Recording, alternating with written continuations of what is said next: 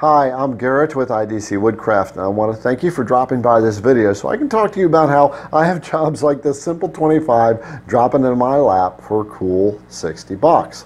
The whole point of this video is to teach you how to set up your CNC interest into revenue generating stream that has a good solid foundation behind it where the business will start coming to you as opposed to you chasing the business, which is much, much harder. Before I get into the story of this and talk to you about what I am doing to build that foundation so the business comes to you. I want to share with you what my channel is about. I do two things. I teach the beginner how uh, all things CNC so that they can become an expert in their field above the rest, right? And the other is to how to turn it into a revenue generating, money making business.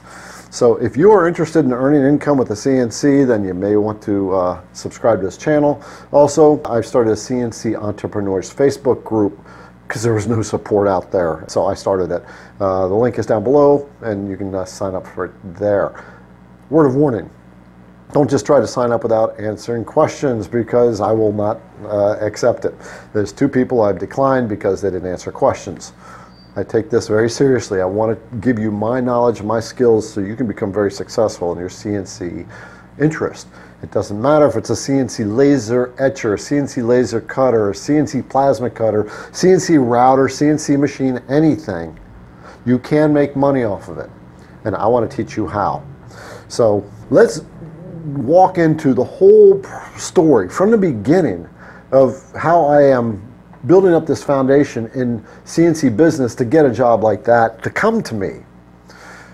The really important business aspects that nobody teaches. I've looked at video after video like everybody has in YouTube and it's just not out there. So I'm going to be the teacher of that. What qualifies me? I've been in CNC machining or was in CNC machining for um, 20 years. Then I was an engineering process manufacturing engineer for another 20. I've started two companies and I've sold many ideas to companies. I got a love of woodwork and I've got all this knowledge in my head that I want to give to you so you can become an expert CNCer. Let's dive into the story right from the beginning because that's where you're at. Two months ago, I moved into this town. I didn't know anybody. I had didn't even have a CNC router, had no business uh, going on. I just knew I was going to start a business, I'm going to build the foundation, and I'm going to turn it into a very lucrative business. How do you do that?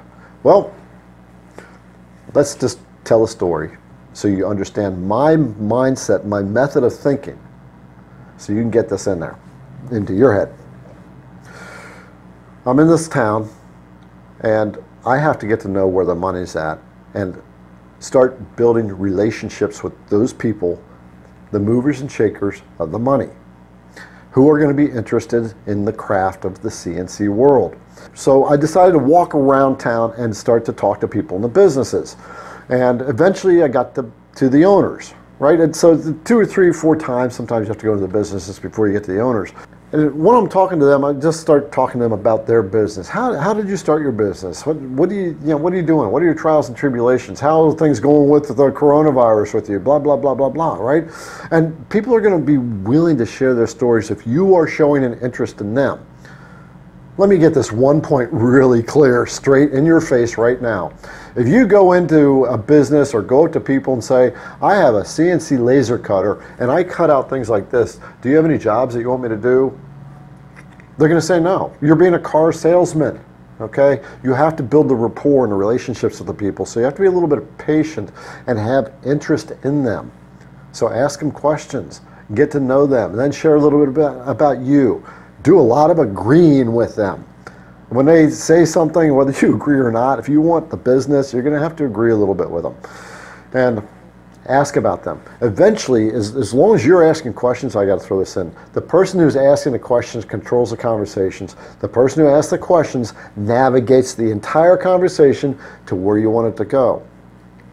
But you got to do it smoothly and with integrity. So with this guy, I'm in this framing shop, and uh, I had been practicing with the CNC and I was engraved on glass with my CNC. In a framing shop, he frames pictures for uh, uh, $200 to $2,000, um, but he deals with glass, right? So, I, okay, I'm going to tap into his knowledge. And so I went into a shop, said, I, I need your knowledge. And so we got to talking about it. Uh, and he told me about glass. everything's got interesting stuff. So I learned a lot about glass. But along the conversation, I told him what I'm doing, and I was taking pictures of everything I had, had been doing so I could show him. This is another tip. Take pictures of everything you do. You will need them. So anyway, by the end of this conversation, he said, can you like engrave my name on a piece of glass? Was, well, yeah, I can give it a whirl. And so he gave me a piece of glass, and I went to my computer and started to design this thing up. And then I added value. Okay, so you always give more than what is being asked. He wanted his business name on a piece of glass. I added a little tiny swirl underneath the name. Took it back to him and said, Is this what you were looking for? And, you know, I kind of got this like this. And he said, Wow, that's really cool. And he noticed the swirl. Okay, he thought that was cool. So that little extra value is always noticed. Then he started talking to me about his wife. He said, I, I was thinking about making one of those uh, wine cork containers. I don't know if you've seen it, uh, where people, uh, wine drinkers, they like to collect their corks. So they got these little boxes with a hole in the top and glass in the front. He said, Can you etch anything on glass like that? And I said, Well, sure. What do you want on it? I don't know. He said, What's her name? Uh, Stephanie. And tell me about her. You know, and we got to a point of said, let's personalize this to her. And he's going, wow, that's a really cool angle right? So now I'm getting credibility with him.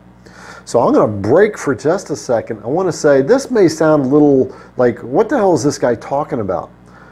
And I'm talking about how important it is to build that foundation that's going to build a lot more business. But we haven't even gotten to the opportunity part yet that I am creating by virtue of doing this. And this, what I'm going to be getting to with the opportunity, is something you have to here, so just stick around. Then I got the, the bottle, the, the bottle, the uh, engraved thing to him. And by the way, the slogan that was personalized to his wife, Stephanie, says, Stephanie needs wine. That's what Stephanie says when she's frustrated. Okay, so very personalized. Well, this guy has got his store is the 25th anniversary. So he said, "Can can you like make a 25 for me?" I said, "Well, yeah. What do you what do you want?" And so he started to explain it. And it you know, turned, turned out to be pretty much this. He wanted two of them so he could hang them in his uh, store where he could um, put lights around it and celebrate his 25th. I said, yeah. So I drew it up on my computer and took it to him, and he's, he's like, that's exactly what I was thinking in my mind. This is very subtle um, score building, right? I, I gave him exactly what he was thinking. But now we're taking it to the next level. Okay, extra value. So now he's got this. He doesn't know about this yet, right? This is the gift in it. And he can hang it above that of the 25, whatever he wants to do with it. I don't care. I had a little extra material, I gave him a little extra thing. That's going to build up more value. All right, let's get into the opportunity aspect of this right? This is a $60 job. It's chump change when it comes to business. Okay, you, you want $1,000 jobs, $10,000 jobs. And yes, in this industry, you can get them. The thing is, he's a framing shop that's been in business for 25 years. He's got a huge customer base of people who are willing to drop down $500 to frame a single picture. So his clientele network has money. And over that period of time, there's this huge network that I can tap into, but I need his consent, if we will, to tap into that network. But something even more important is happening that you need to get as well. This guy has rented a three garage space because he doesn't have enough room for his framing shop anymore. But he's, the space is like way too much. Right? So he said, you know, I mean, maybe we can work together. You know, you pay me 50 bucks a month and you can use one of the bays. But he's doing something else. He's starting to think, how can I use this guy, Garrett, to tap into his business, to uh, add more value to his business, more product base, more things like that, which is actually like turning will turn into business for me, right?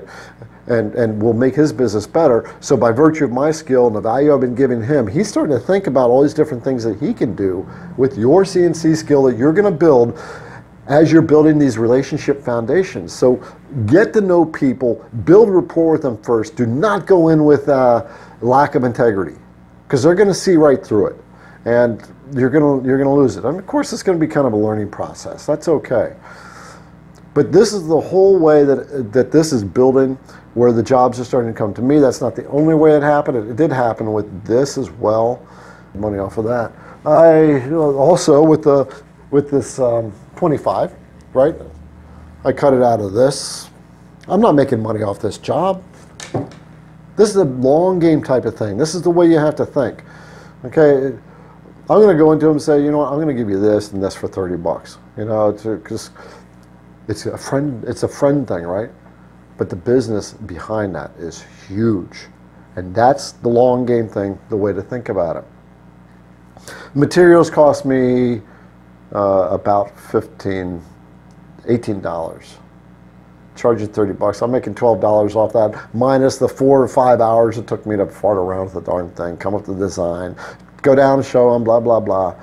I'm not making anything off of this. Okay, it's costing me in the short game.